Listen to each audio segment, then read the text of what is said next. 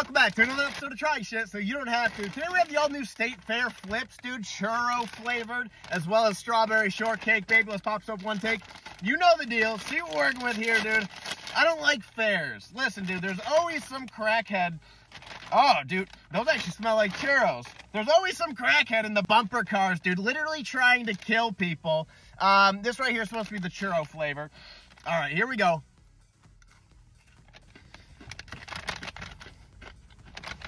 Okay.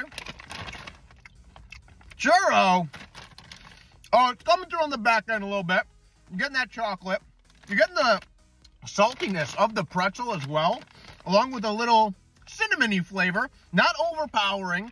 Um, this one right here, overall, churro, I gotta go, I'll go 7.8 out of 10. They're not unreal, but they're not bad. Um, Actually, I'm gonna downgrade that. 7.5 out of 10. Next up here, strawberry shortcake. Oh, look at that, dude. A little purple and uh, white action in there. Here we go. Mmm. These are better. These are better, Flip. Um, you're getting the strawberry right, right off the bat. You're almost getting like this yogurty strawberry flavor, if you will. I actually really like that, dude. Take one more bite and give an overall rating.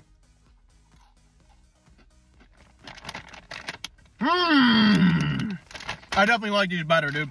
Strawberry shortcake Flipz.